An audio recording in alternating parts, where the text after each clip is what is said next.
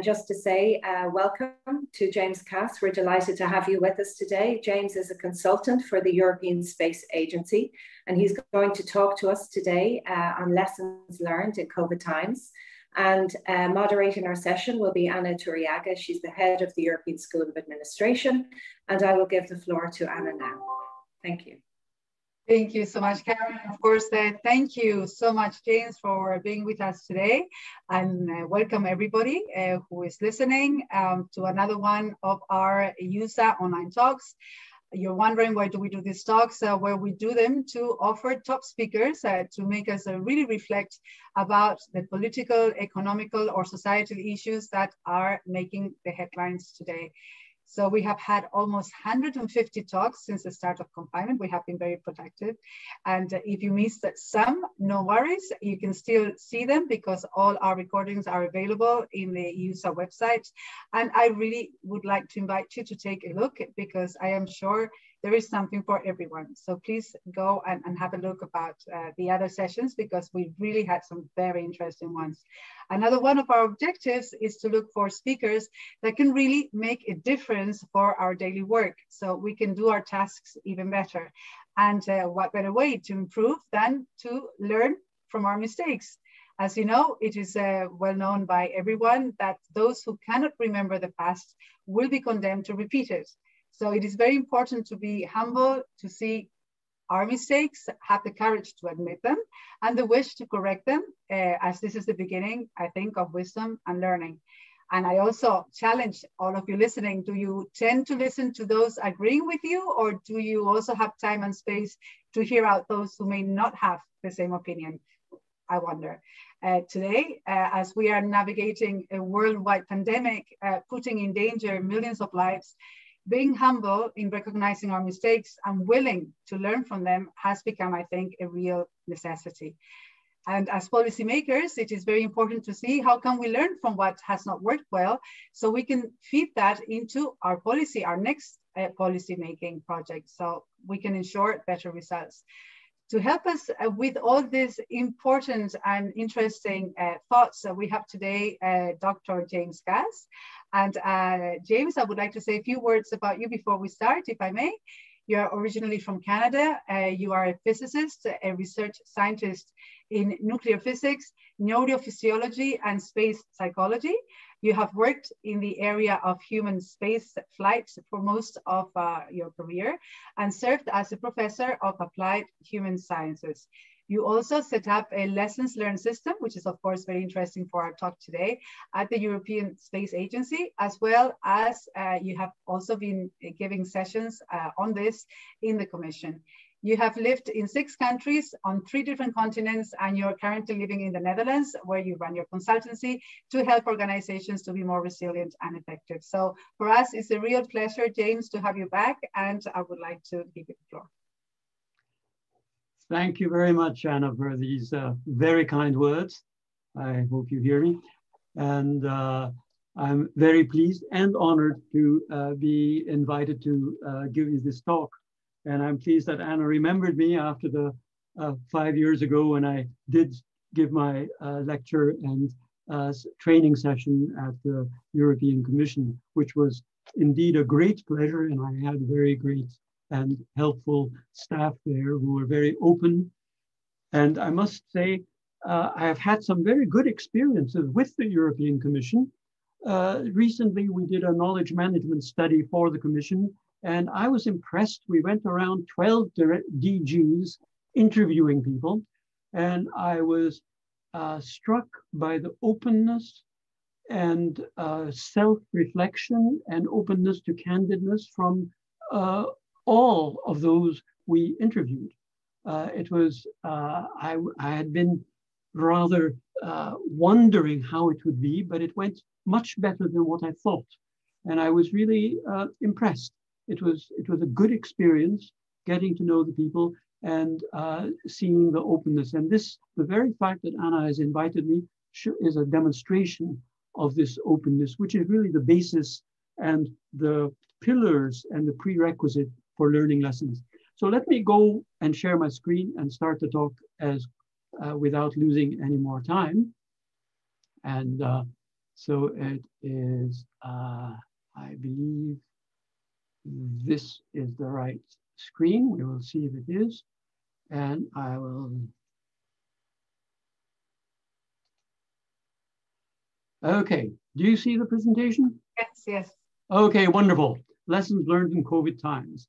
But there is something there at the bottom called the silver lining.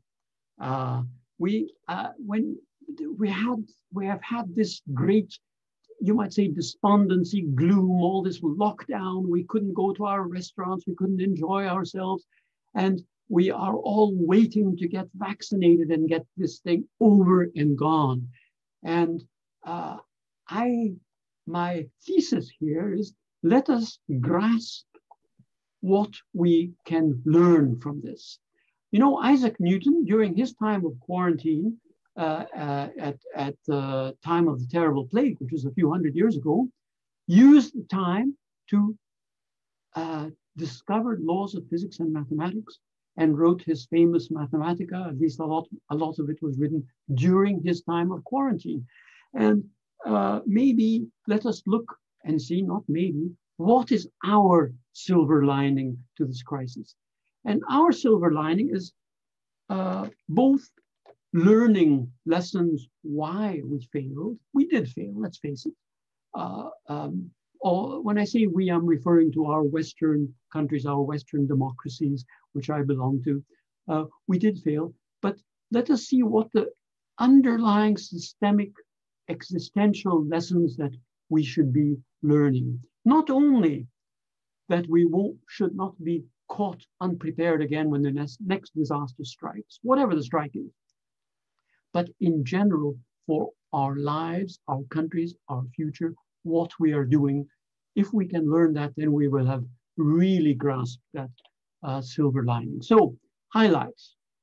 Uh, we think we know what lessons learned are, but let's look at it. Let's look at it and understand well, what it's about. Although Anna has given such a good introduction, I think I won't have to give such a long one. I'll be able to go through it more quickly.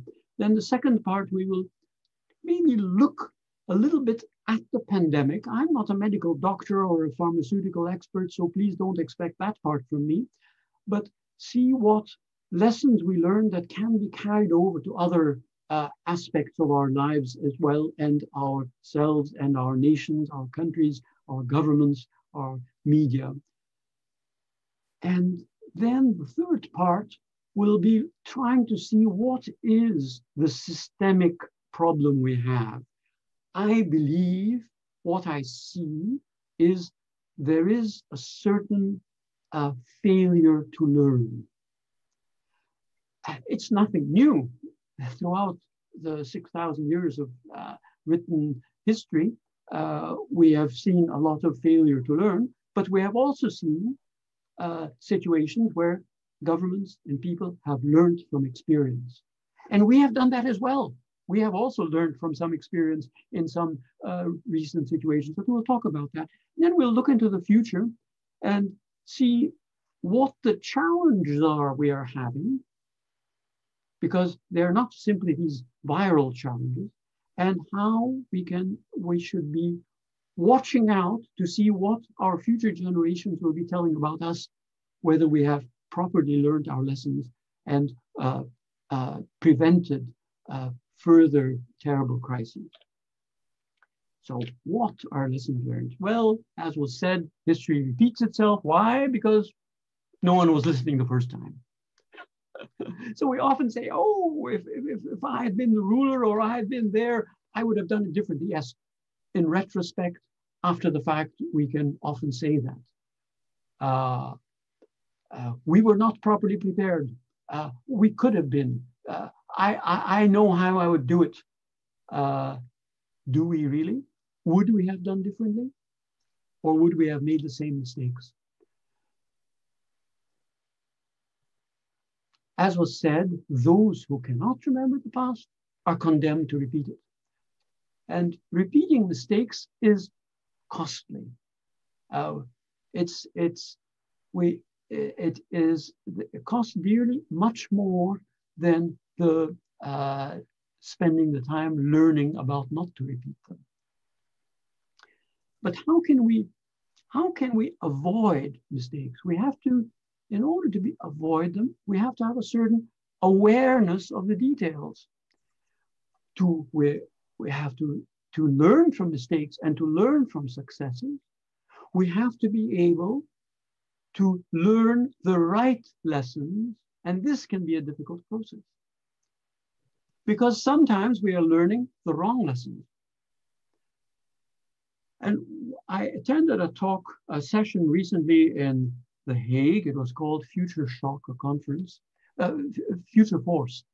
And one of the problems they underlined was the hybrid warfare we are facing today hybrid warfare, meaning not just bombs and cannons and airplanes, but the media and the attack we are uh, receiving from uh, propaganda and other false information.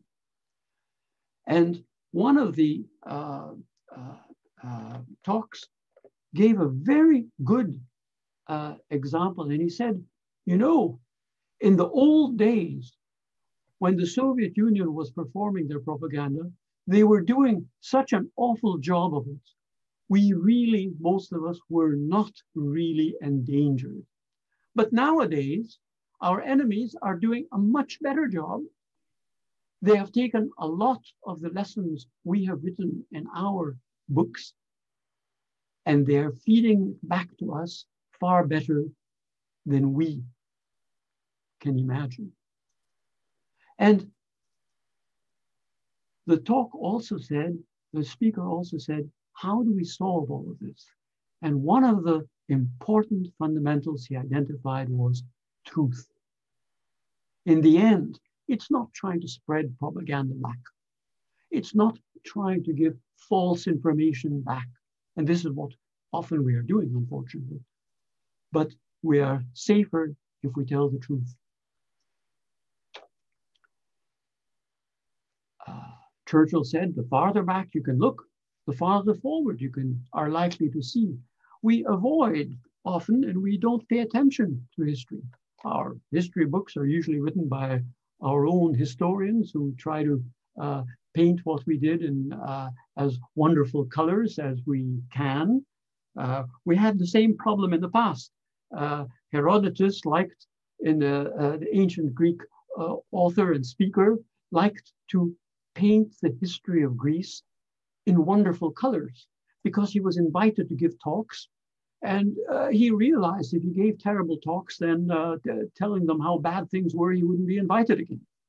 And sometimes he wanted to boast about a war that was carried out. But actually, that war was an illegal, awful war that should never have taken place. So he had to change history a little bit to paint those people, those victims, as terrible enemies so that he could boast about that war. So this is nothing new. We see some of that today. It happened two and a half thousand years ago. And they noticed it. Thucydides, a little bit later, criticized Herodotus and said, that's exactly what he's doing. We shouldn't be doing that. We should be trying to find the truth. This is nothing new. I didn't discover it today. This was a few thousand years ago written down. What it means is we have to be demanding the truth, questioning the narrative. And only then can we really maintain those values that we boast of having. So part of this talk and a critical aim of this talk is to underline the critical importance of learning lessons, but from truth, not from falsehood. I mean, it is often said uh, what you have not experimented and experienced yourself, well, you have not learned. It is also said, ah, it's a lot of effort. If we install a lessons learned system, a similar one that I installed at the European Space Agency, it's a lot of effort and it has little benefits. And I have to admit, that system I installed after I left is not being used much. I hate to say it, uh, but this is the truth. Another excuse we find is the times are changing and uh, lessons of the past are no longer relevant today. This is wrong. They are, believe it or not. We just have to glean those truths. So let's use this example because we called DOC uh, lessons learned in COVID time. So I think we should talk a little bit about the pandemic and its uh, lessons. Otherwise, uh, Anna might be annoyed at me. So uh, it's the pandemic is really a war against an invisible enemy. And uh, we, we see that even the ancients also uh, uh, understood this. And as I've already mentioned, uh, without the truth, we can uh, seldom learn lessons. But if we mask the truth to protect our reputation or our illicit actions, then the truth is lost and we can trust is lost and we can seldom recover from that. And moreover, if we have these half truths or uh, false falsifications and apologetics, we certainly will not be able to learn the right lessons for the future. So this is part of what we are trying to, uh, uh, the challenge we are facing, is to build this shield of truth that will protect us in winning any war. And the question is here, what happened? Did we listen to warnings to be prepared? There were warnings, but we didn't listen. I'll talk about that. Were we too proud to learn lessons from other nations' crises? You see, uh, pandemics did occur, and epidemics did occur in various countries in Africa and in the Far East. And those countries did learn something. And actually, uh, many of them who did learn fared much better. And we did have warnings about a potential coronavirus that could attack us, and we didn't listen. When supplies were insufficient, what happened? I know here in the Netherlands, it was said, well, masks are not very important. It's really important for the, for the hospital workers, but in general, it's not so important. The main thing is to wash your hands. And once the masks were available, then it began to be very important. Uh, partly because um, it was embarrassing that our advanced uh, nations could not produce something simple like masks. Very strange. Months went on end and we couldn't buy any. Uh, this crisis, unfortunately, has unleashed some political unpleasantness. We have sometimes engaged in politically attacking others, whether it be uh, out of uh, jealousy, when our uh, uh enemy uh, declares that they have been the first to create a vaccine, then we are all very annoyed about it. That was far too early and it shouldn't have been declared, et cetera, et cetera and we are fully attacking. Yes, yes, it could have been too early, declared, declared too early for political reasons. Of course, of course, there is much uh, criticism that we can levy against these others.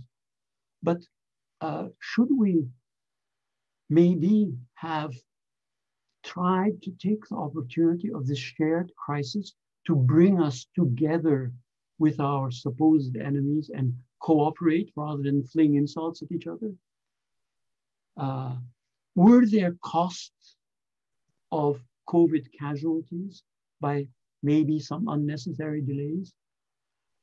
I'm not sure. There are many questions asked on this and many accusations made. I don't know what the truth is, but we should really look at ourselves and candidly try to understand. And if we do, this is the beginning of our wisdom. Uh, let us look uh, briefly. I think many of you already know this, so I won't go into very great detail, but just for completeness, maybe I should, uh, uh, it, it belongs in this part of the talk. Uh, we have seen a number of countries in the Far East who have suffered uh, very few deaths. Uh, when I say deaths, deaths per million. I'm not sure that I believe all those figures because statistics can lie. Uh, it depends how you count them, how you declare a death to be from COVID or from something else. So we have to be careful. Uh, maybe we have been more honest in our countries and in the West, and they have not been as honest. I don't know. But this difference is very great. And such a difference, maybe it's exaggerated, cannot be totally denied. There was something that maybe they were doing a little bit more right than we were doing. And what lessons can we uh, learn from this? They learned lessons from their past epidemics, as I mentioned. Some of the lessons, I tried to look at it and try to uh, see what were some of the key things that maybe we could learn from. They set up a clearly defined tiered command structure, which was ready to respond for such outbreaks. We didn't have it. We were quickly trying to set all this up.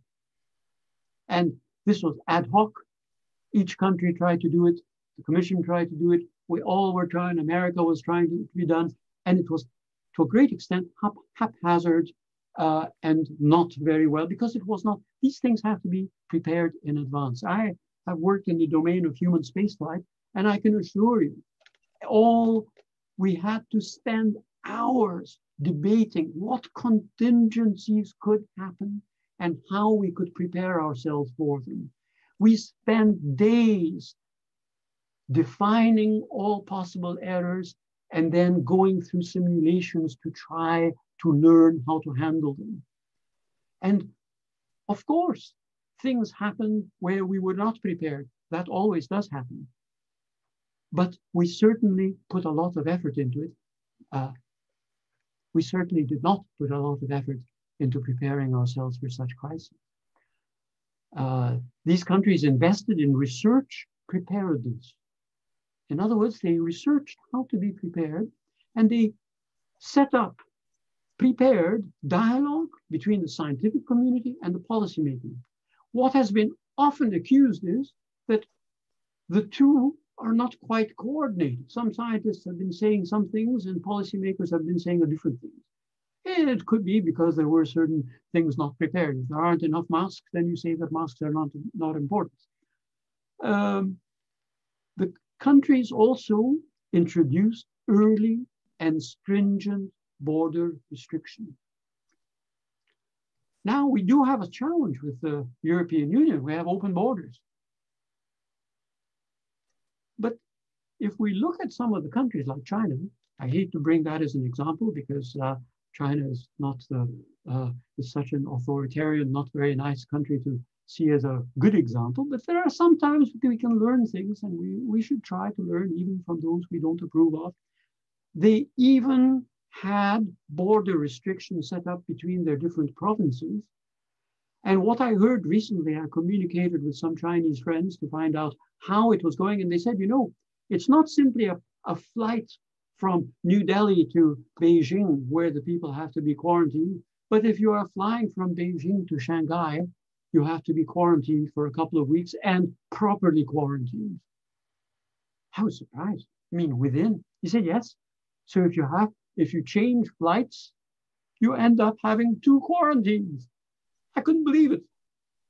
I don't know whether this is still being carried out, but at least some people I know have to suffer through two quarantines because they have to change, they change flights.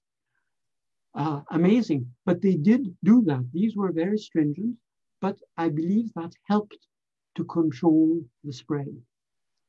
Uh, now, another habit that people have in the East and this is not new. And it, this is not since simply these last pandemics of a few, or epidemics, sorry, a few years ago in the Far East. This has been long uh, habits. When I visited the Far East in the early 80s, I noticed people were wearing face masks, many. And I asked them why. They said either they felt that they may be sick, so they wore it so as not to spread it, or they felt that their immune systems were low and they were susceptible. So they wore masks in crowded places to keep themselves from catching anything from others. And this they were doing 30 years ago when I was there and probably long before. Uh, here in the West, it has been a big problem uh, getting people to wear their masks properly. I'll go into that a bit later. They also introduced electronic and mandatory track and trace, not in all the countries and not as efficiently uh, in, in all equally efficient in each country. But they introduced it in a way that would be very difficult, I believe, for us to introduce. We have a lot of concern of data privacy. And if you try to uh, uh, do your track and trace properly, uh, people will protest that they are being followed and spied upon, and that such measures, once introduced, will not be lifted. And this is part of the problem of introducing an effective track and trace method. But you cannot introduce it just as a as a as a as a, a pandemic uh, breaks out. This has to be practiced in advance. The laws have to be looked into. The software has to be it has to be simulated properly. This is not something that can be done at the last minute. It has been tried and it has also uh, failed. But there are ways of having effective track and trace and still protecting data privacy. And I talked to some companies because I had some very good ideas, and uh, some of my team members actually uh, uh, uh developed methods for, for, this purpose. And we tried to get investors. And you know what the investors told, told us? They said this is not a requirement of our national or European laws. They have not defined such potential track and trace methods that will still protect privacy. And unless we have such demands, we won't make such applications. It costs too much and we won't have customers for them because people won't, will still be afraid of using them. So there is a problem here. There are solutions. It has to look in, be looked into. It is not an easy uh, uh, challenge to, to uh, overcome timely and vigorous response avoided, avoided lengthy national lockdowns. They did have lockdowns, but they were introduced early and introduced effectively. And this helped them with their success. These are some of what I gleaned that I saw in some of the countries in the Far East and maybe some of the European countries also, uh, but which were mainly uh, missing that I think we could be looking at. Uh, but what I also noticed was a great amount of misunderstanding and ignorance from the general public. There was a certain lack of understanding what this crisis is all about and what common sense precautions are. Uh, there were problems understanding uh, uh, at the beginning, we dependent on the WHO. What did they tell us? They told us it was mainly respiratory droplets. Well, uh, you don't really need masks to stop those. Uh, but uh, it turned out to be uh, uh, any form of aerosols also. But did we need the WHO to tell us such things? 30 years ago, people were wearing masks when they had a cold. So there's nothing new. We don't really have to depend upon Big Brother uh, guiding us on every step. We have to use our own common sense. We issued blanket rules, one and a half meters. I see it in the shopping malls in the Netherlands. Keep one and a half meters uh, apart in the shops. So you have a small shop and you're trying to keep your one and a half meters apart. And then I see the same sign in the dunes where it's totally empty, even on the entry to the beaches where it's totally empty, saying keep one and a half meters. Well, do you really need your the same rule outside in nature with the wind and fresh air blowing as you need inside a shop? Does, is it not common sense to understand that the stale air in a closed uh, place, even if it has some air conditioning, we breathe the same air that other people are breathing? Uh, it has been measured that uh, these viral molecules can float around three or four hours in a closed room with a low ceiling and with poor ventilation. In other words, your one and a half meters is not going to protect you at all. Even three meters is not going to protect you. But this does not, does this require uh, great PhDs to do this research or is it not common sense? But still, we got the same rules and people were trying to observe and follow the same rules, whether they were out in the blowing wind or indoors. I noticed some people wearing a mask, walking in the dunes in the Netherlands, uh, where hardly a soul or on the empty beaches in winter uh, wearing masks. I don't know what those masks are supposed to protect them from. They should be trying to breathe fresh air. And then I noticed in shops, people wearing a mask over their mouths to keep their noses free to be able to breathe and breathe in whatever microbes and uh, molecules are available. And then when they talked, they lowered their mask to give make their mouths free, and then they covered their mouths when their mouths were closed again. Well, I mean, uh, if this is the type of common sense we see amongst our populations, something is wrong. If you tried to do this in the Far East, another person would start scolding you. That's what I was told by some of the people. They don't need the police everywhere. People are their own policemen. And if somebody behaved in such a stupid manner, he would be scolded by the fellow person walking next to him. I tried to scold some fellow uh, people here in the Netherlands who were not observing the right precautions. And they told me, oh, you're taking things too seriously, forget it. And I was laughed away.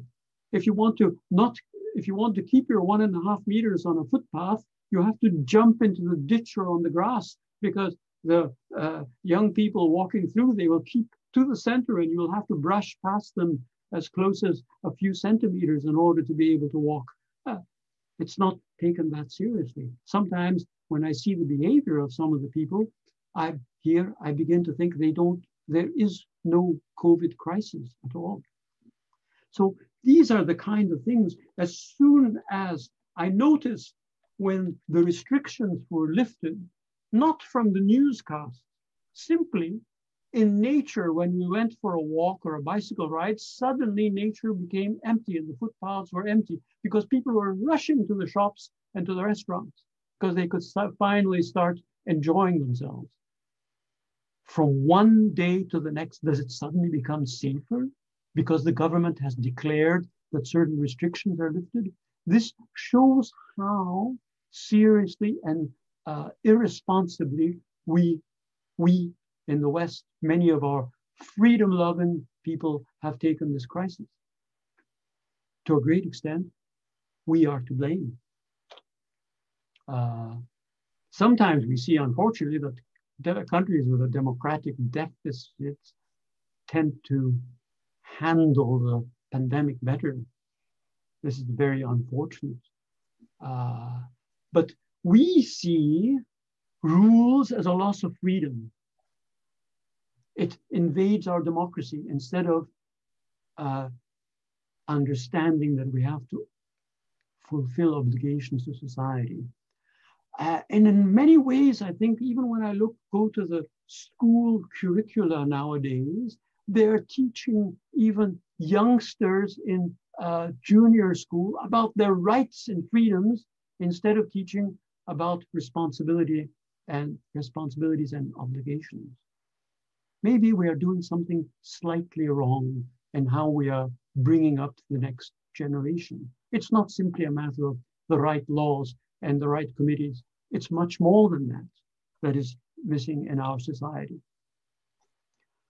Uh, when ancient Egypt went through this uh, crisis uh, of uh, seven, they, they, before they had the seven years of drought, they have seven years of plenty. And what did they do? according to the Bible, they were warned about it, but we don't really know what happened.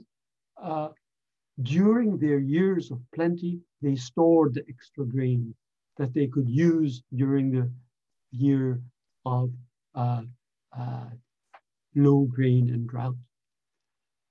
Uh, in 2015, there was a TED talk, The Next Outbreak, We're Not Ready. And this warned about the spread of a potential coronavirus. I was amazed when I heard that talk. I heard it only recently, but it happened five years, five or six years ago.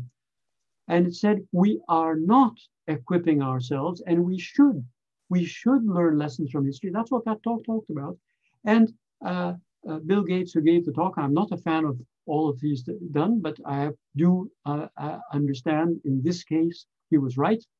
Uh, we need to do more simulations, germ games instead of all those war games? Yes? That's what we learned in spaceflight, that we have to play those games of errors and mistakes and simulate, simulate all the contingencies in order to understand how to handle them and be prepared. Uh, we still make mistakes. We are not doing that enough. How about our young people? Most of the talks I, I listened to on television was on how terrible it was for young people not to be able to uh, study together in their classrooms, go to the bar together, go to their discos. They were not able to enjoy their lives. Terrible, terrible, terrible. Uh, uh, uh, I, I can, it has been a long time since any of us have suffered the real wars and real situations of uh, restrictions.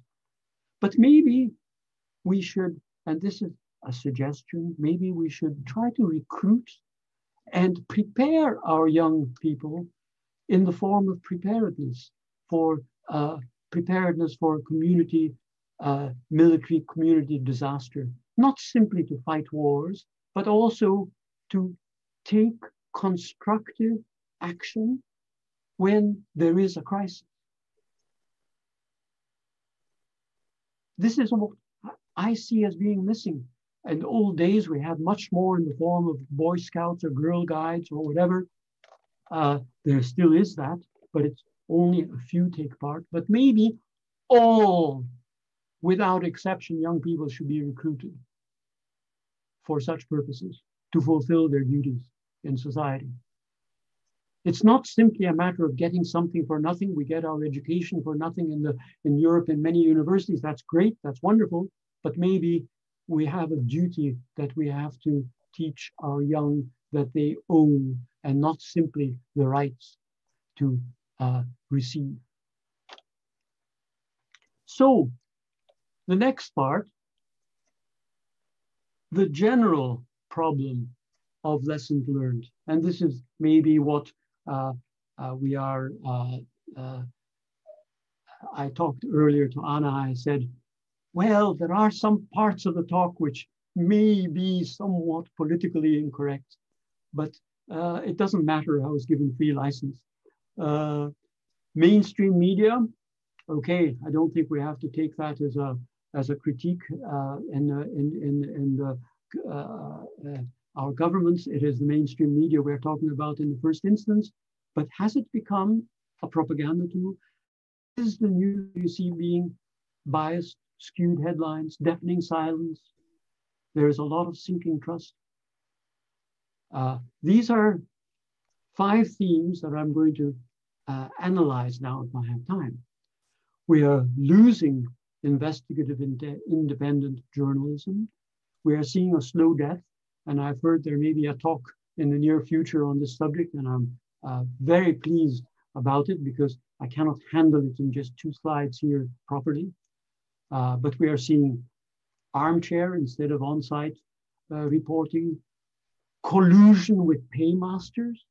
We have seen the uh, uh, uh, mainstream media being collated and joining together and being controlled by just fewer and fewer and bigger organizations. And these are the ones who are sometimes dictating what appears or what doesn't appear. The paymasters are unfortunately becoming more and more politically uh, influenced and ideological. Uh, is there too much of a revolving door between our media, our governments, and our arms industries, or our pharmaceutical industries, or whatever? What are we seeing? Uh, too much collusion? Uh, how about investigations? Are we losing the independence? Are they becoming politically influenced? Can we trust them anymore? Our social media, uh, the owners of our privacy are becoming our judges and censors. Our public institutions have, is trust flagging? Let's handle these. And we've seen that our democratic society really is supported by a few critical pillars. Representation, yes. Knowledge, yes, and justice. However, all of these are dependent on having truth. If we don't have truth, we can't really know who we're voting for and what we are voting for. If we don't have truth, we cannot have true justice. So the truth and the knowledge is going to be very, is very important. Uh, mainstream media is becoming less trusted than ever.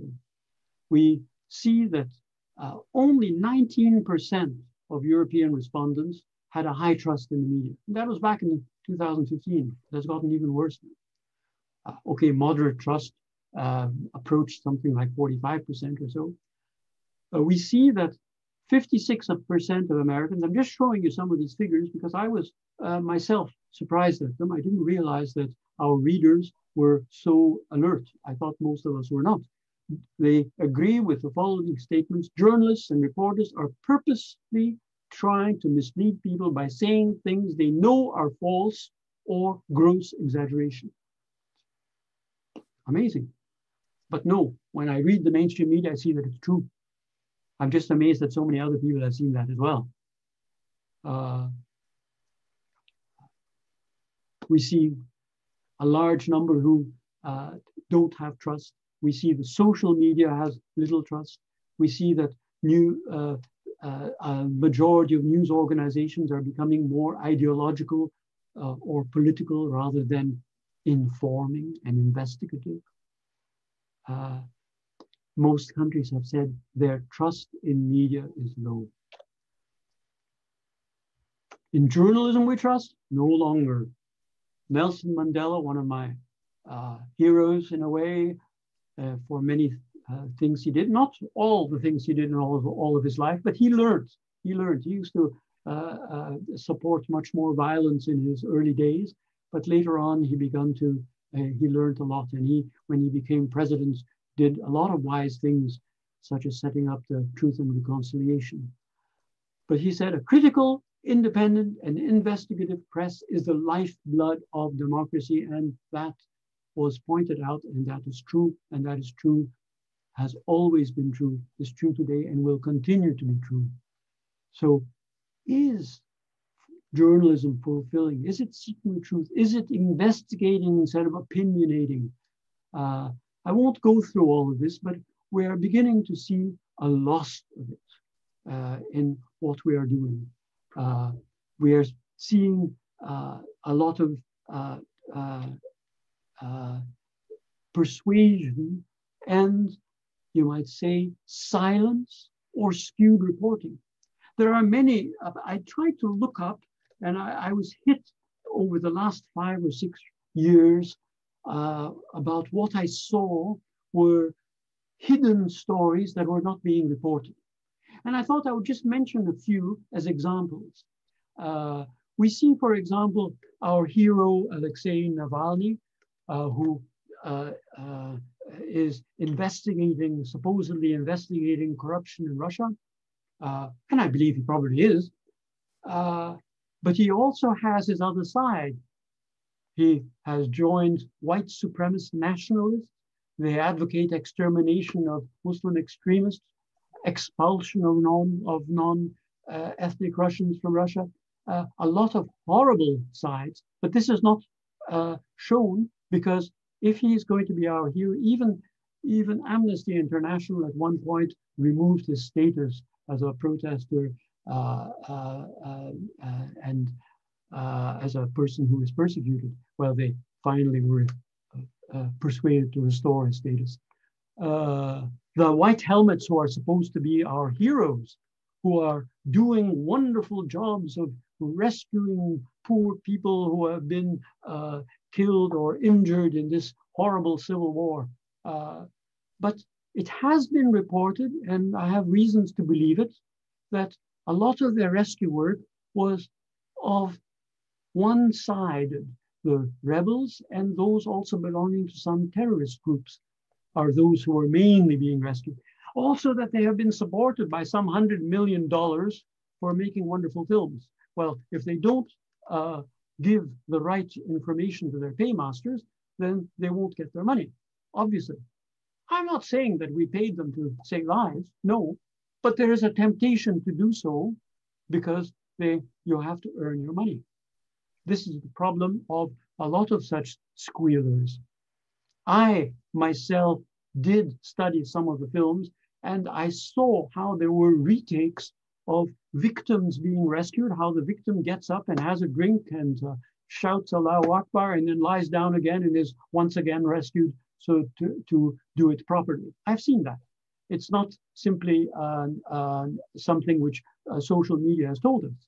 I have seen ISIS flags uh, being waved by a supposed dying uh, victim who afterwards jumps up and waves his Kalashnikov. Um, doesn't this doesn't mean that it's always happening, and I'm not saying that they are not doing some good. I'm just saying that only one side is being presented. Uh, I watched the horrible films of the build of the burning building in Odessa. Rebels had taken over the building from the, uh, one of the big buildings and uh, protesting the Kiev government. As those days, lots of protests going on everywhere. But there were some uh, far right extremists who had come because there was a football game and I saw in the films how they threw Molotov cocktails into the building from the outside through the windows to start the fire. And then how barricades were placed on the exit doors so that the poor people inside could not escape. And what did the Western media talk about it? They said a fire broke out and the rebels inside had uh, blockaded themselves inside the building. Yes, a fire did break out and they were blockaded. But the headlines and the article gave the impression that the fire was started inside the building and the blockade was only from the inside. But when they cleared the doors on the inside, they couldn't get out because it was blockaded from the outside as well. I even saw how some of the uh, people outside who were wearing some horrible looking uniforms, which one would identify as neo-Nazi, shooting those who jumped down, jumped out of the windows to escape the fire and shooting them on the way down. And some of them were killed and some of them who arrived on the ground were then beaten up if they were not enough injured uh, by jumping down. I saw that. Did the mainstream media talk about that? No. Why was it not covered? Because the uh, government that was supported by some of these extremists was now pro-Western. Maybe. I don't know. But this is very disturbing when we see such things. I heard a conversation between two leaders in Europe talking about the Maidan shooting.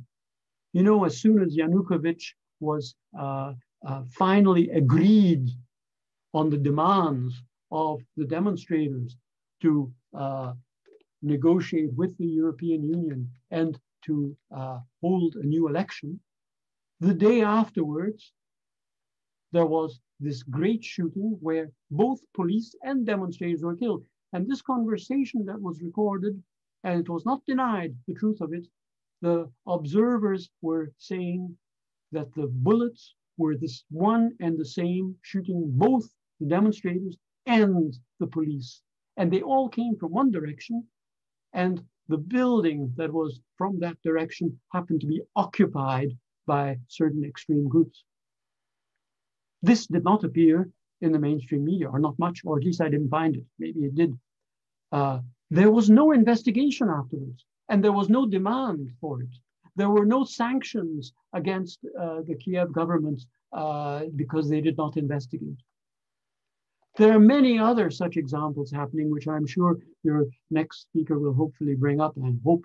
But uh, if I would properly talk about it, my time is soon running out, so I better uh, uh, not talk too much. now at 44 minutes, I believe.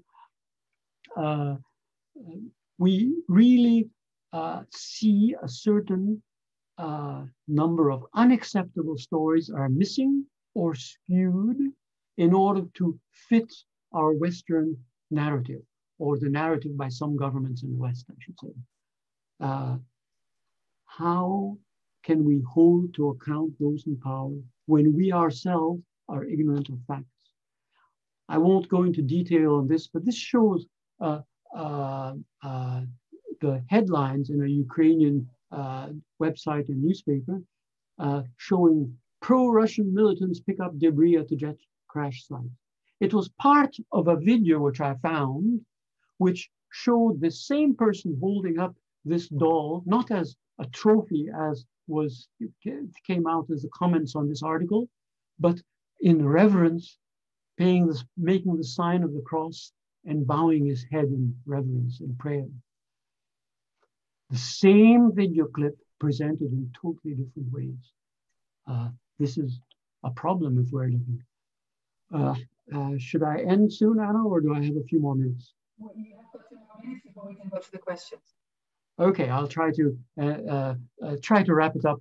We see also, and I'll just be very fairly quick here, our public institutions trust is also at a historic low. Not only our mainstream media, but our public institutions. So the mainstream media that is supposed to be guarding us and calling to question and guarding the gates and watching our public institutions, they cannot be trusted. Our public institutions are now uh, less and less trusted. We see both in America and in Europe these figures, which you will read in my power in my presentation later on, uh, demonstrate that. You may already know it, but the, the least uh, uh, uh respected professionals are those in America are, those members of Congress, and in Europe are those uh, political parties. So we really are doing badly. We're not doing very well.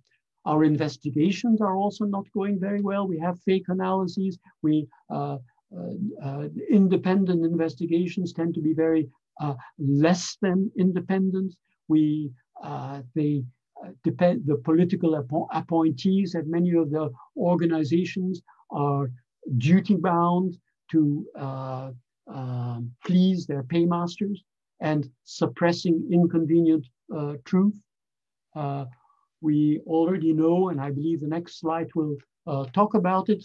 Uh, we see that the Duma chemical attack, which the horrible Syrian government, well, I don't say they're not horrible, but supposedly took place. They were, the bombing took place four days after this supposed chemical attack. Is that enough time for an investigation? When it was, we were told afterwards it will take weeks, if not months, to investigate. Well, then how can one come to a conclusion so quickly? Uh, are we, did we see the Alice in Wonderland uh, syndrome of the verdict being uh, um, declared uh, before the trial? Uh, when recently in Parliament, uh, an embarrassing question was being was asked by one parliamentarian to the director of the OPCW. He was told that he should be more polite when uh, talking to such an important person as a director. Uh, and his microphone was even muted when he refused to be polite. Uh, the director did not answer any of his questions. Why are we afraid of that? when a previous director of the OPCW and other experts who were on the ground in Syria, their opinions were suppressed. Even one of them was not, not given a visa to go to uh, New York uh, to enter the, uh, uh the United Nations and make his presentation. Uh, to such an extent was the suppression carried out a peer-reviewed scientific paper was withdrawn. When this is going to be happening, what can we expect when even scientific papers, we are afraid of their being published. And this is not the first time that a scientific paper has been withdrawn. There was another scientific paper on climate change that was withdrawn because it did not fit with the narrative. This is a terrible time we are getting into when we are uh, suppressing these things. Uh, I won't go into all of this. Uh, there are other matters that have been suppressed, whether it's Stefan Bandera, who is honored. That's a monument to this Nazi who was uh, rounding up Jews and uh, giving them to the Germans during the Second World War, and he is honored. Uh, you can see the condition of this wonderful monument in, uh, in, in Ukraine. some way, somehow, I don't see much about this monument in Western uh, media. Uh, social media, we have the problems there. They are the ones who decide what is right and wrong and who will be banned. What priorities, when you make a Google search, why don't you find what you're looking for? If they don't like that kind of thing, they may not be, uh, they may. We don't know how their algorithms work and they won't even tell us.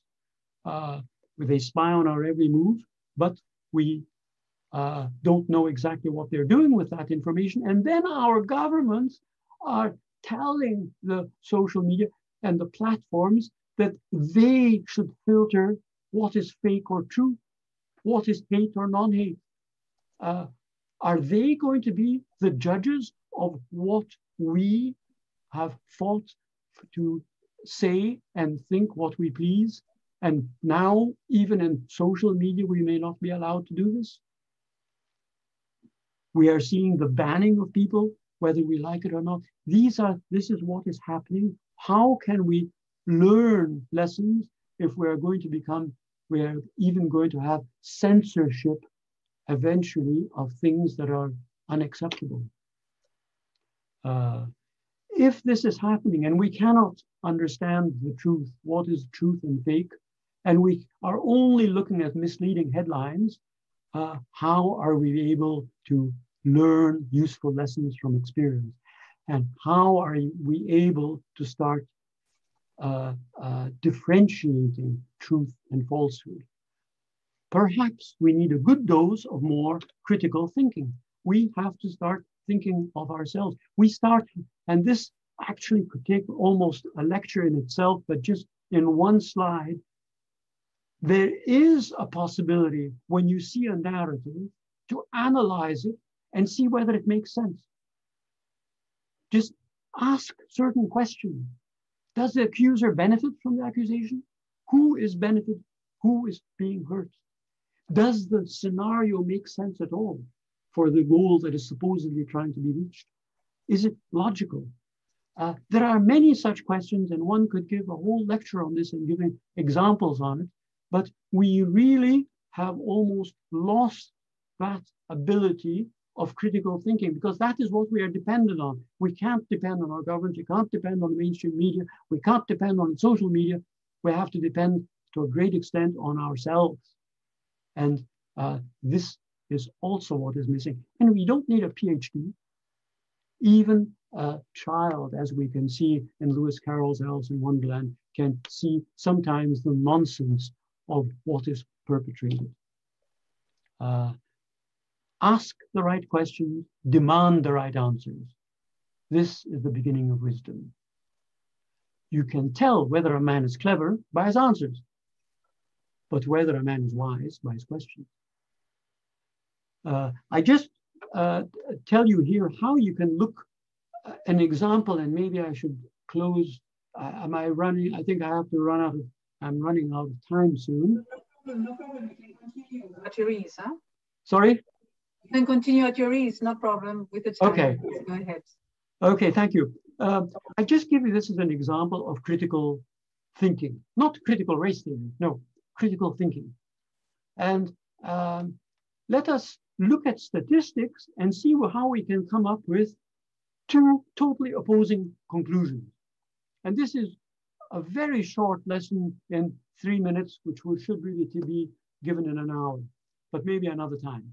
The BBC um, uh, uh, recently printed an article, but they're not the only one. Many other mainstream media did the same thing, showing that although African Americans are 14% of the population, they accounted for 24% of fatal shootings by police. This showed statistically, significantly, an anti-black bias of 70%. Yeah, because 24 and 14, that's about 70% more, right?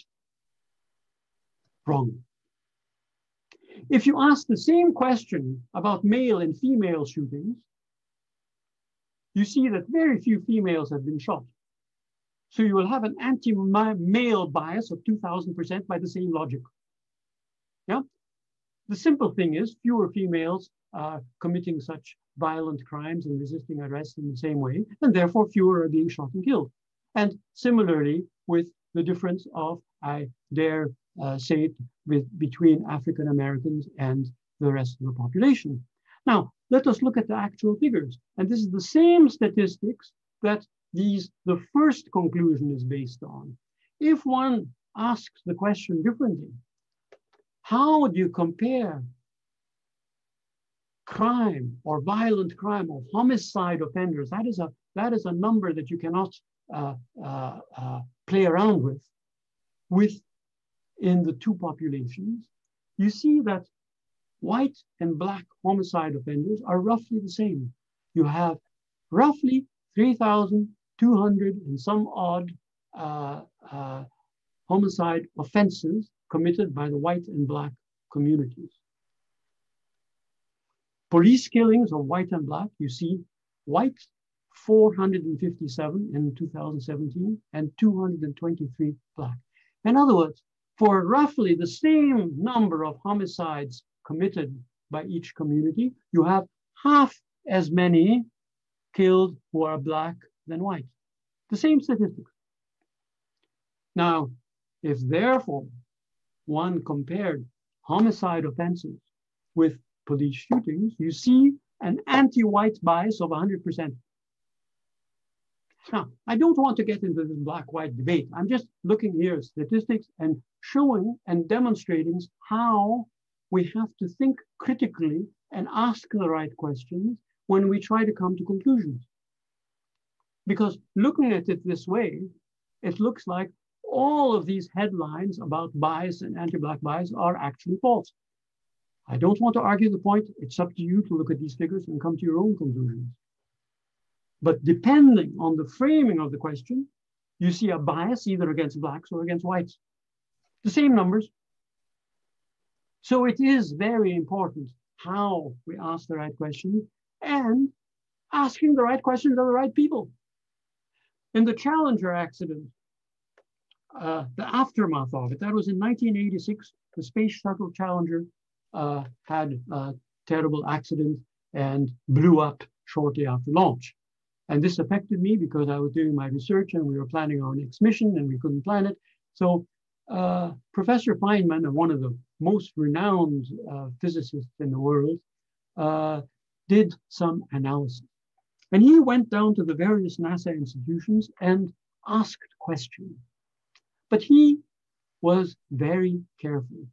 He came a couple of days earlier than he was supposed to come to these institutions. And instead of meeting the directors, he met with a lot of the lower level engineers who are doing the real work and know what is going on. And he asked them, what would be the statistic of a space shuttle accident?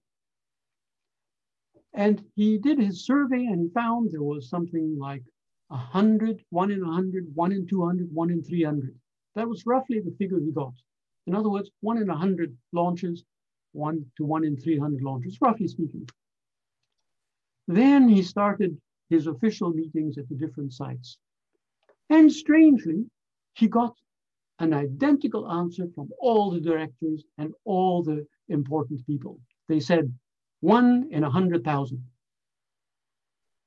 It was the same answer given by all of them. And this was the problem, asking questions of a political appointee and a director who has agreed on what is the correct answer to give and asking the question of the real person doing the work. And this is the same thing that we have seen with the OPCW, asking questions of the director rather than of the experts and dissenters. I have been to the OPCW and I have met many of the people there, and they do excellent work.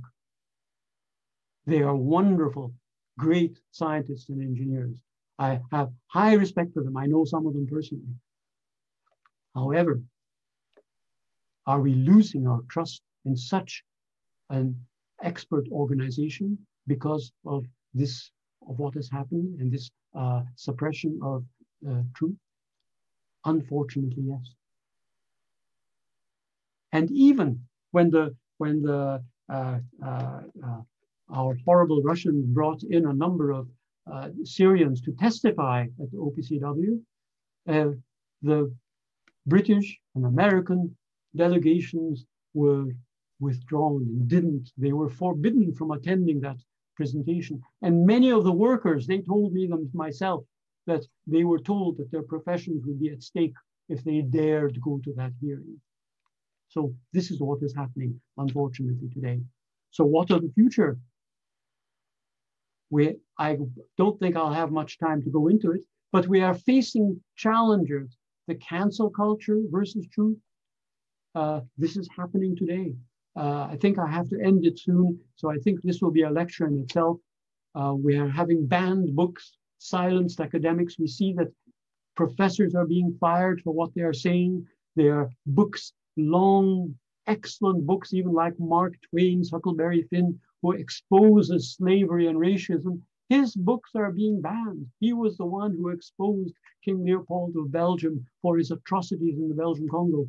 And his books are being banned nowadays. What is going on in the name of diversity, equity, and inclusion? We're seeing all kinds of horrible things uh, happening uh, because of various types of theories that are being uh, promulgated. Uh, is this maybe a new face of fascism that we are experiencing? Uh, I believe we could be calling it that. So I, gone, I went through rather too quickly on a number of slides, each one which could have given a lecture, but maybe we just uh, summarize everything and we see that uh, in maybe just these few bullets, truth is fundamental to learning, seeking the truth, seek the truth, you will find it. But analyze critically to discern truth from falsehood. Ask the right questions, demand the right answers. Don't repeat your mistakes. Learning from experience is the beginning of wisdom. And remember, if you point a finger at someone else, three fingers are pointing back at you. So if your moral perch is too high, you have a longer way to fall. So learn to see yourselves also as others see you and learn to see others as they see themselves. I think at this point I better uh, close, otherwise I have talked too much. So I will uh, stop and maybe uh, be open to some questions, which I hope I'm able to answer. Thank you so much, James. Indeed, I think you have given us a lot of food for thought. Um, and uh, you have shared some questions from colleagues, so I'm going to go straight to them. Uh, so what more than a question, this is a comment that somebody saying the first element to learn a lesson is to recognize that we have been wrong. Uh, and that seems to be quite hard. Can you comment a little bit on that? Oh, yes. As a matter of fact, that was one of one of my sl many slides that I removed because I had too many. But uh, you are absolutely right. Uh, being able to recognize we are wrong is the key to beginning to think openly.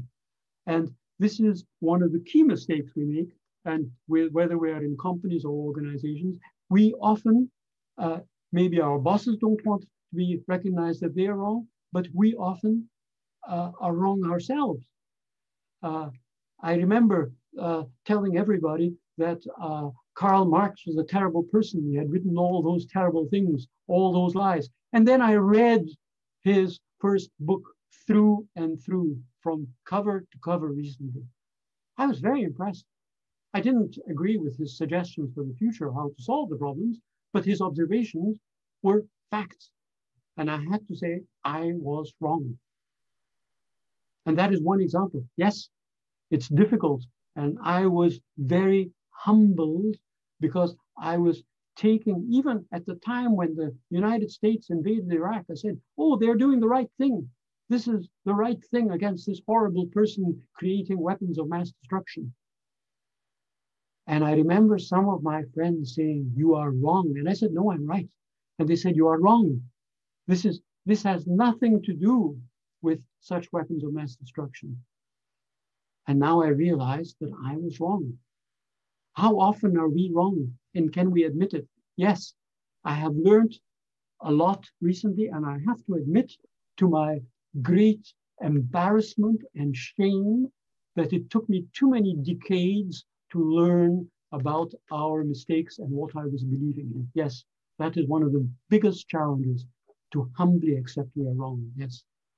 And to apologize for it And this has happened also in many countries, whether it be the genocide that happened in Turkey, where the government still doesn't want to admit uh, wrongdoing. It remains a festering wound that will not heal because those killed, it is still not even admitted that there were any mistakes made. I better stop there because I could talk too long on. No, I was, I, was, uh, I was, smiling at your reference to Marx because somebody was saying in another talk the other day that uh, Karl Marx had the right uh, questions but the wrong answers. you know? So it was very interesting how he said that.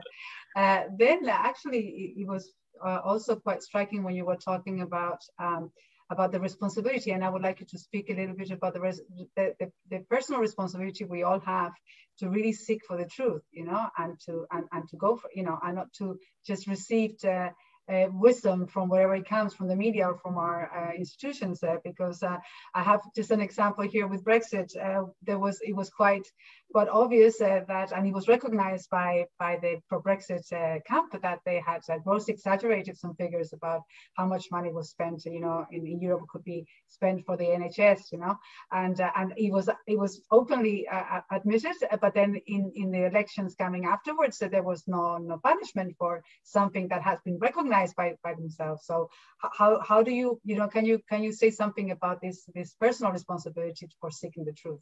Yes, this is this is a, a problem. And I remember talking to some uh, learned uh, friends and neighbors who said, well, they get their information from the main, from the headlines and uh, what is told to them. They, they can't, don't really have time. And I said, you know, when we see that our governments are behaving in an uh, irresponsible manner, but we don't inform ourselves and we don't take any responsibility and, and actually inform ourselves before even we vote for anything, then we are also to blame. We cannot blame it on others. We have to take the responsibility ourselves for these mistakes. And until we begin to recognize that, that we shouldn't always push the blame upstairs, but take a more active role in accepting that we have to be responsible and inform ourselves rather than simply believing such uh, statistics and skewed information that is uh, fed to us by the various parties. Yes. But how do you explain that? That we tend to not punish uh, when we have been proven. You know, this is this is an old trick. Uh, look at what look at what has happened. This is an old trick. Many governments uh, and many organizations and many politicians have succeeded and doing it consciously, knowing even mainstream media, they will spread a wrong headline, a false one, and later on in a corner of the paper, issue a retraction. And they know in advance that having issued that retraction, they are more or less safe, but they have achieved their goal of spreading the wrong information and they can get away with it. And unfortunately, unless somebody takes them to court, then they aren't being held responsible. And they know it in advance that they probably will not be held responsible uh, uh, uh, for what they have done. Uh, it's, it's very unfortunate, whether it's the mainstream media or our politicians. I have no solution to that other than we should start uh, taking more responsibility ourselves. Mm-hmm. Now the question is, what is stopping us? How to stop it? How? What is stopping us from doing that? Oh, most people get their news just before the football game or before the uh, film in the evening. If the film starts at 8.15, it means they have 15 minutes of headlines, and that's about it. And most people uh, who watch, read their newspapers, which is the second most area where people get their news, television is the first, uh, newspapers is the second, they read only the headlines. And these headlines are created to give a certain uh, ideological uh, um, impression, and therefore they succeed. Uh, because we don't bother reading the article underneath, which uh, often will include a fair amount of truth, but it is not uh, um, provided in that headline. The headline gives a wrong impression, and it's done on purpose. And if we don't bother reading the article underneath, then we are not informed. And most people can't be bothered. It's more entertaining to look at the krimi on television than to start looking at the details of a critical article. And as you pointed out in your in your talk, I think education of the small children is absolutely essential to, to change this. Uh, and so, what is the role of education? Yes, this is this is one of the big problems. How much in the old days we read books, we actually read things. Nowadays, if you ask about Jane Austen, people only know about the film. They don't know about the book. And unfortunately, the, the books, many books are usually very good. And there's a reason why literature was taught in schools so that one could read the details. And now we have shortcuts. We can go to Hollywood and they will tell us. Uh, few people have read any of the classics. They have only watched them on television, and it's usually a mixture of uh, nonsense and entertainment. And the filmmakers either haven't understood the stories and they're totally missing it, uh, uh, uh, and, and depicting a character that is totally opposite with a totally wrong message. And we just believe it and we think that is what it is. Our education system is going down, down the drain. We're spending time educating our young people as to their freedoms and uh, third bathrooms and whatever else. But instead of uh, uh, uh, teach. You know, this is this is one of the problems we have. The critical race theory in America that is coming out and is becoming very popular says we should lower the level of mathematics in the schools to fit all the disadvantaged so that they will all get good grades. There is nothing, no greater lie and nonsense than that. I myself participated in teaching in Detroit schools, which were uh, uh, relegated as the worst 10% in the district. In other words, these were pupils who could not spell their own names, let alone three letter words, words like Y-O-U, you. They would spell it U, Y-U-O, yeah? And we decided to cross racial and financial barriers by teaching mathematics. And I was amazed at how far we got. We were teaching eight to 10 year olds what I did not learn uh, a, as a 16 or 17 year old at school. And this was with the worst black schools in this, mainly black, black schools in the district. The pupils were extremely intelligent if taught properly. And a few of us were PhDs in physics and mathematics or PhD students and professors participated in this project. And just one hour a day, uh, four days a week, we had our full energy for that one hour. And the wonderful teachers who were totally inept uh, collaborated with us and welcomed us with open arms. Uh, they couldn't do the job, but we did. And the results we got were not amazing, they were super amazing.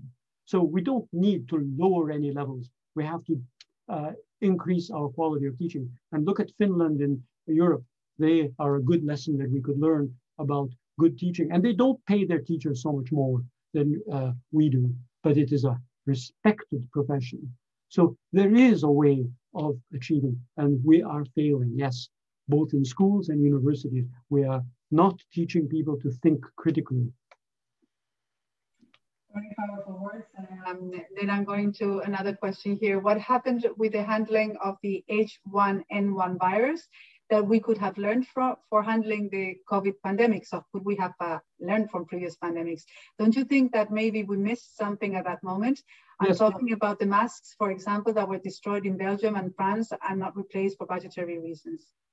Uh, yes, I'm not informed of all the details, but I do know when the, and I'm not too sure if I'm going to speak to the question properly, but during the H1N1, the, the, the uh, uh, uh sorry, no. Um, and, and I'm not sorry. I'm not. I'm not so informed about that um, um, uh, on on that pandemic and what's happened. I, I think I better uh, re, refrain. I was going to. I was going to talk about the A HIV uh, problem and what what was what the solutions were in that.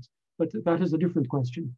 Uh, uh, so, so basically the question is uh, that uh, you know that we we had some equipment bought after one of the last pandemics but we were destroyed afterwards and we were not well prepared for this one you know so how, how can we learn some lessons from that?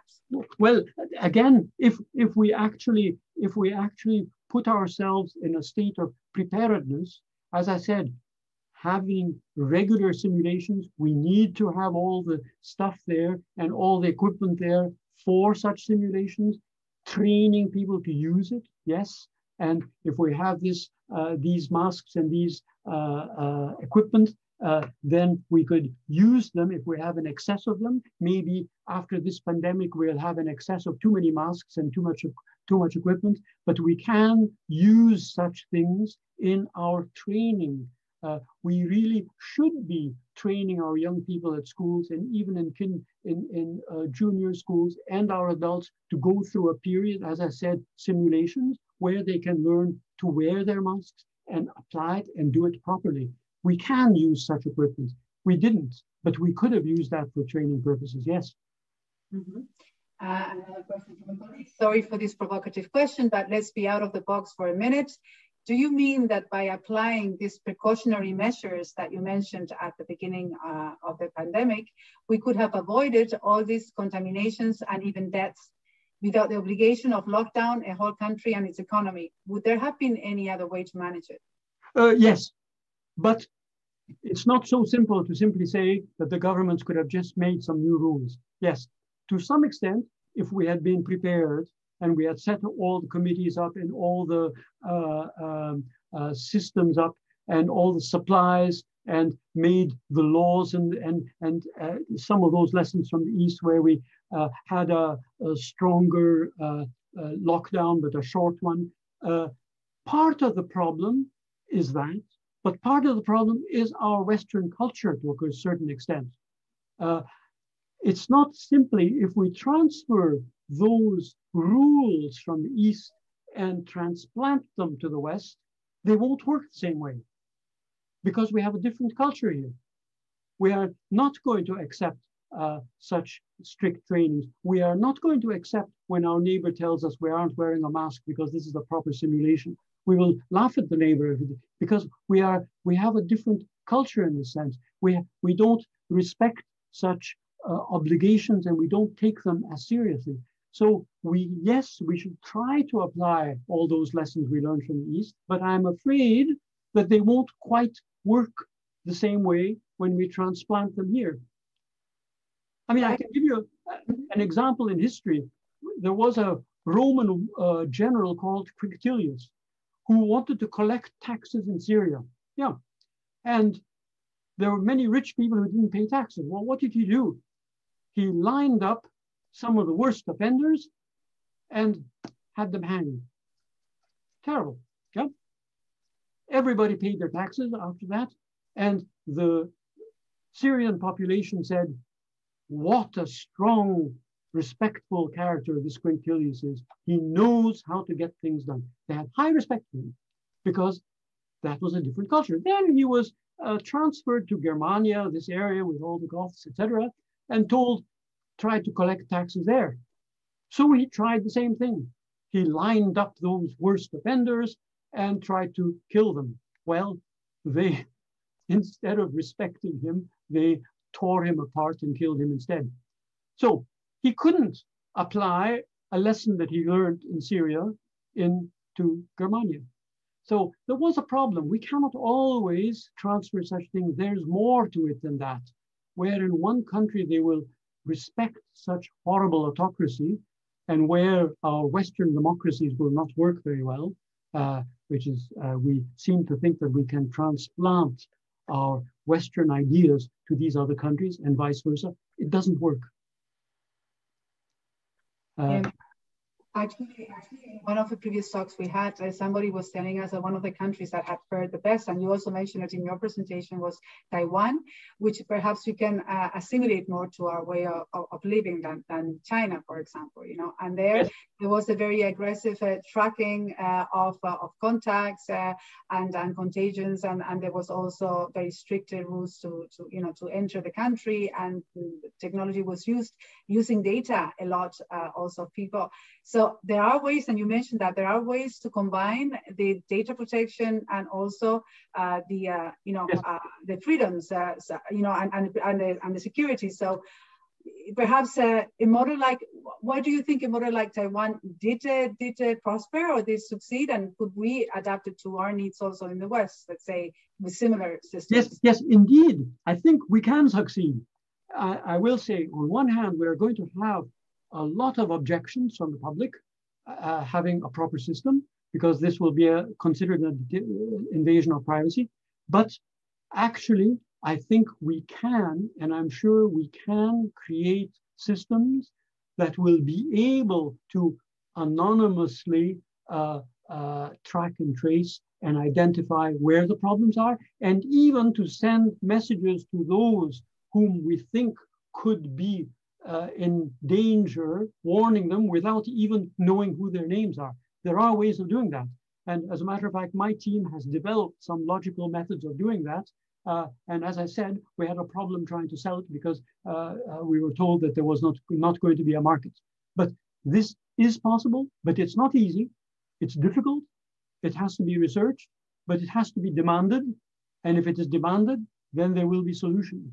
And I would be very happy to Uh, spend some more time uh, uh, with the right parties in case you uh, want to have some ideas about uh, potential solutions. Yes, I think it can be done, but we have to overcome the problem of the fear because we have to be able to say that this could be turned off or should be turned off after a certain period of time to tell people that uh, the governments cannot continue to operate such a system indefinitely, that automatically, unless they are really uh, given the permission to continue, that they will automatically uh, be turned off.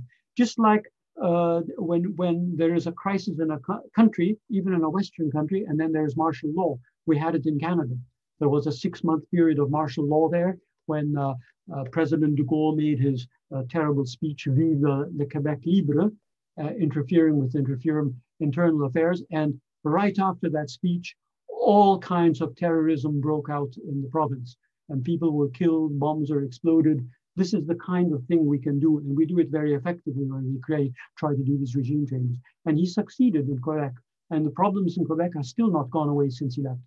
Uh, but uh, they had to declare martial law, but automatically after six months, martial law was lifted because the law protected us. So it was not a problem. Our freedom was given back to us. But for that period, if we were seen two people talking together on a street corner, we were told to move on. And three people, we were told that was a crowd. And we were not allowed to meet. Period. Basta. The soldiers were there with their rifles and they told us, move on. No problem. It did work. Uh, Sometimes we have to apply certain rules, but we have to promise that these rules will not last forever you have safeguards that you can, and you said that you have developed that. I mean, what is surprising is that there wouldn't be a market when we can see, when we have the evidence of a country like Taiwan, when you look at the numbers, you know, that you want to cringe because, of course, when you see the amount of deaths in Taiwan compared to Germany or France, as you were saying, uh, I think it's quite evident that if we can find a solution like that, where we can protect our freedom and at the same time our security and health, we have a system that works why not use it? So why would there not be a market for that? Well, a lot of work has to be done to get it working. That's the problem. And such investment is a major investment. And one has to make sure that one has a widespread market to apply it. Otherwise, you cannot create an application that will be used by a dozen people. It has to be something uh, coming top down, not simply bottom, bottom up, having a new wonderful app for your smartphone. It has to be something top down that's dictated to. I'm willing to, uh, to talk with the correct parties at the commission on this in case there is interest. Yes, it is something exciting and we can, there are solutions, but they'll be very difficult, both technically and psychologically to introduce them. Uh, for me, it's very interesting to have this talk because we're hearing about this proposition that you're having about having the system, which for me sounds great, uh, to be able to, to, to you know, to, to comply with the data uh, protection at the same time be, be safe. Yes. And then last, yesterday we had another very interesting scientist who was talking about that he has developed in the US, but he's a, he's a Spanish researcher. He has developed a, a test for COVID, which is less than five, uh, year, five uh, dollars and can be, uh, you know, very easily applied. But he was also saying there was lack of market, you know. So I'm wondering uh, where are the investors for such great ideas? Uh, because uh, so if anybody's listening, I hope that they can actually propose and channel James to the right people to talk because I think they're great ideas. As we're getting very close to the end of our talk, I mean, just for one last uh, question that I find here, could you give us a comprehensive definition of cancel culture, please? Oh, yes, yes, yes. Uh, I'm not too sure if I can give a co comprehensive one, but I can explain to us to a certain extent. Cancel culture is this culture where if you say something that is perceived to hurt the offend feelings of any member of your audience, therefore you are not allowed to say it. And if you dare even to get up and maintain and, uh, and propose an ideology which has been uh, banned by the community that says such things are wrong, then you shouldn't even be invited to speak. That is why some speakers at Oxford Union or elsewhere in universities were not even allowed to make their uh, speeches because they were uh, uh, their subject could be interpreted as opposing what the woke community declares. And we don't even know what that declaration is because that red line of what is allowed and not allowed is moving and drifting from moment to moment. So uh, this uh, cancel culture means that we are beginning to lose our freedom of speech and our scientific uh, uh, uh, uh community is being destroyed because then we are not allowed to express what we think is our scientific conclusions from data. Mm -hmm. uh, well, thank you so much, James. And unfortunately, we have to put an end to this very fascinating uh, talk that we have had. Uh, I hope that people have enjoyed it. I just give you another one of the comments of one of our colleagues is saying, uh, I would like to thank you very much for letting us uh, open our eyes on the importance of questioning the accepted narrative. Um, and they, they, are asking whether you could share your slides, but I guess you can. You will I will, I will, yes. Super. So thank you so much, uh, James. And as you said, there were several things left that you were always saying this would be the subject of another conference. So very happy to uh, to, to host you whenever you would like to discuss some of the issues that you couldn't extend yourself on today. I would be very pleased to do so. Thank you very much for inviting me. And I'm very uh, pleased uh, that the audience has been positive uh, and not too annoyed at me. And uh, I will be also pleased I can discuss with you maybe of giving uh, uh, individual on some individual subjects. I'm not an expert on all of them, but I would be uh, happy to expand on some of them in separate lectures. Yes. Super. Thank I just see a message from the chat saying yes, yes, please another conference. So I, we will try to find that. Thank you so much, James. And I will ask now Karen to please uh, put an end to our session. Well, thank, thank you. you. Thank you, Anna. Thank you, James, again for a great presentation. And as I mentioned at the beginning, you will receive the recording in a couple of days along with the PDF presentation from, from James. So have a lovely afternoon, everyone. I've put a link in the chat to our webpage where you'll find the details of our upcoming talks for the rest of the month. And we'll very soon publish our June program as well. So once again, thank you so much. And I'll stop the recording now. Okay, thank you very much. And